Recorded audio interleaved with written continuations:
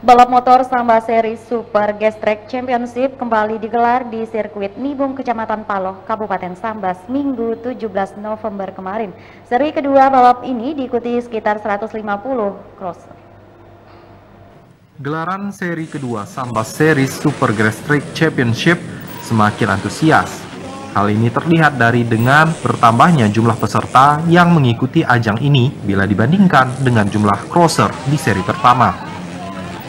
Kejuaraan yang mengadopsi sistem putaran kejur prop yang untuk pertama kali di wilayah perbatasan ini menunjukkan grafik peningkatan untuk diikuti. Begitu juga dari sisi pengunjung, ribuan pasang mata hadir di Kecamatan Paloh yang merupakan wilayah paling utara di Pulau Borneo ini.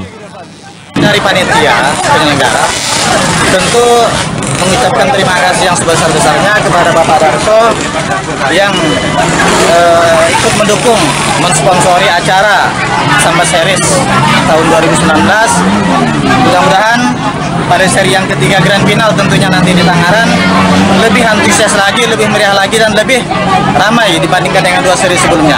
Itu harapan dari kami. Terima kasih. Lebih jauh diharapkan pada putaran Grand Final nanti akan semakin seru dan antusias.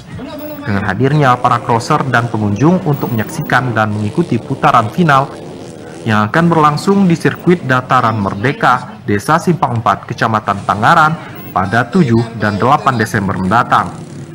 Dari Kabupaten Sambas, Zainuddin Pontipi memberitakan.